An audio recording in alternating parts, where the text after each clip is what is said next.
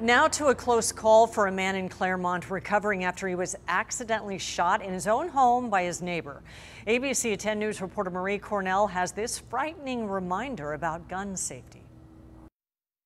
Walter Lamb says he was inside of his home at his kitchen when he heard a gunshot, and then he instantly realized something wasn't right.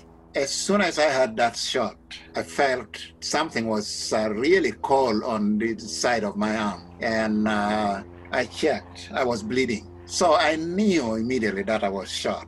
And then I called 911. Once at the hospital, Walter was taken into surgery to remove the bullet. Because this is where my arm is, and then uh, if it had moved here, it would might be my heart. I would be dead.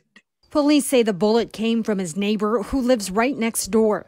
The neighbor says he was cleaning his gun and didn't even know it was loaded. This is a picture of the bullet hole in Walter's window.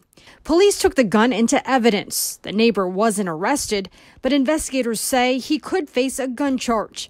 As for Walter, and they changed the bandage and check on it. He's in a little bit of pain, but says he's ready to return to work as the head of his nonprofit organization, Alliance for African Assistance. But he adds this is a reminder life is short. Life can end anytime.